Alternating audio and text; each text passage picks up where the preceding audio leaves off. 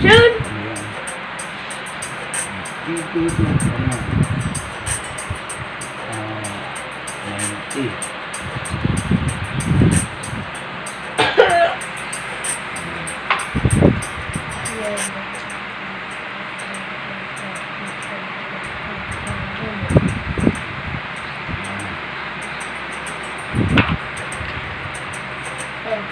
Nine.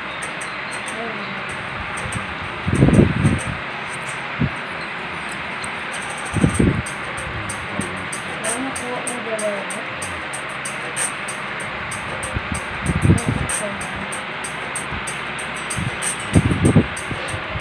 lang tapusin yan.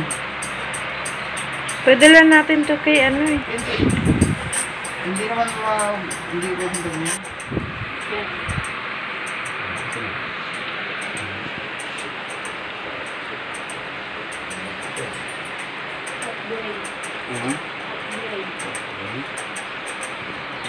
Mhm. Lagyan, ay wala pa, hindi pa ito nalagyan. Ay, Lalagyan na. yung pangal-una ang lalagyan. Oo nga, oh. Ito, pag... ano, Hmm. Ito yung ipang-upgrade mo. Ha? Ito, babayaran mo Ano, ito yung may bahay mo. Yung pangatlo. Ikaw ang Kaya nga, oo.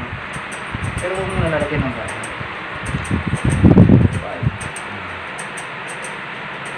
Ano pa na yan? Ano eh? One, two, three, four, five, six. Yay, upgrade.